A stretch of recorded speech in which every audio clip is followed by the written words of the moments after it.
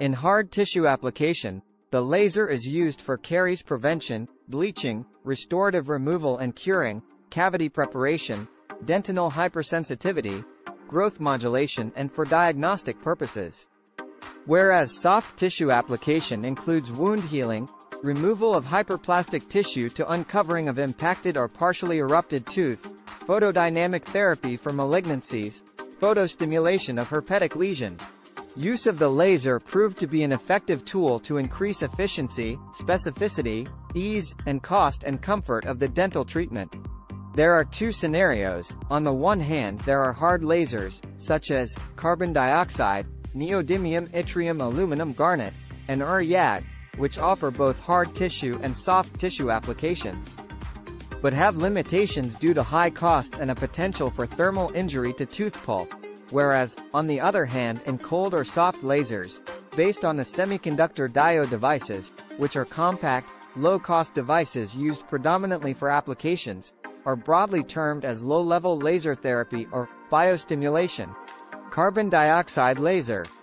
The CO2 laser wavelength has a very high affinity for water, resulting in rapid soft tissue removal and hemostasis with a very shallow depth of penetration.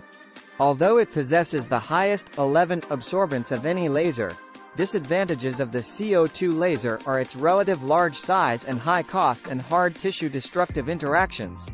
Neodymium yttrium aluminum garnet laser. The ND, YAG wavelength is highly absorbed by the pigmented tissue, making it a very effective surgical laser for cutting and coagulating dental soft tissues, with good hemostasis.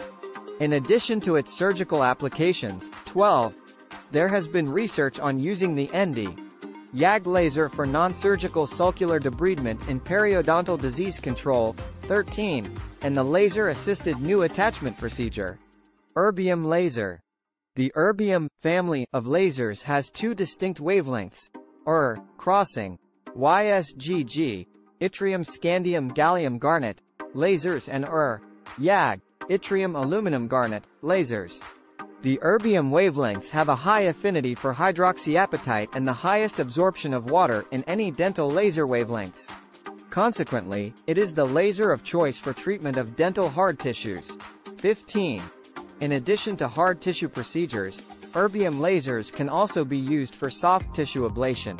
Because the dental soft tissue also contains a high percentage of water. Diode laser. The active medium of the diode laser is a solid-state semiconductor made of aluminum, gallium, arsenide, and occasionally indium, which produces laser wavelengths, ranging from approximately 810 nanometers to 980 nanometers. All diode wavelengths are absorbed primarily by tissue pigment, melanin, and hemoglobin. Conversely, they are poorly absorbed by the hydroxyapatite and water present in the enamel. Specific procedures include aesthetic gingival recontouring, soft tissue crown lengthening, exposure of soft tissue impacted teeth, removal of inflamed and hypertrophic tissue, frenectomies, and photostimulation of the aphthous and herpetic lesions. Thanks for watching.